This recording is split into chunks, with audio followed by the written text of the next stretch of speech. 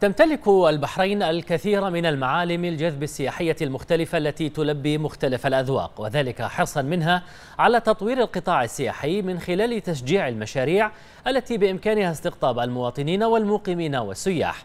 مثال مميز لأحد هذه المشاريع المبتكرة نستعرضه في التقرير التالي. الأصل في تطور المجتمعات هو العلم والعمل وتطبيق التجارب والخبرات. حسن جناحي مثال مميز للمواطن البحريني الجاد في تحقيق أحلامه.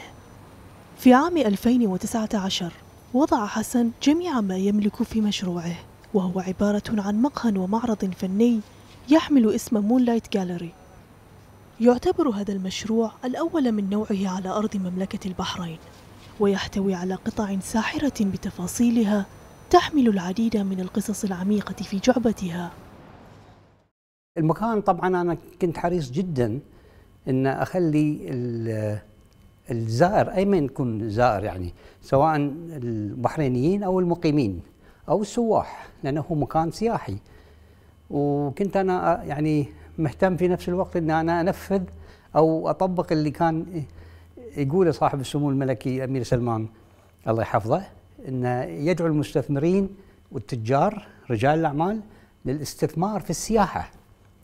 وفعلا أنا وايد يعني نبهني في هالموضوع مونلايت جاليري عبارة عن توغل في التراث الحضاري والإنساني والسبب الرئيسي الذي زرع حب الفن في صاحبه هو عشقه للموسيقى والآلات الموسيقية. كما استطاع أن ينقل أعماله إلى خارج المملكة أعماله التي تحمل ذكريات لا تفارقه أبداً. حيث استخدم فيها خامات محلية لإنتاج مجسمات ولوحات وتماثيل ومنحوتات تصور إرادة المحبة والسلام.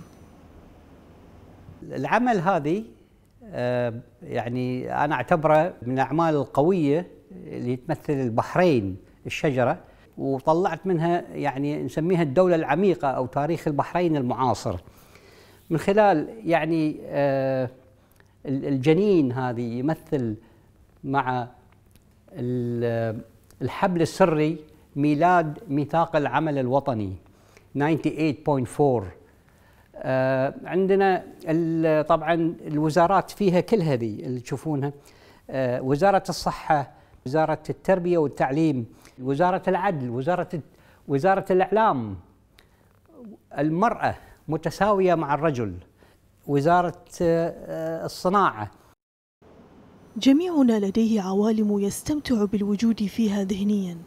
استطاع هذا الرجل أن يشاركنا عالمه الخاص من خلال هذا المعرض الذي يمكن استخدامه كصالة فعاليات أو التجول فيه والإبحار في القصص التي تحملها كل قطعة موجودة فيه.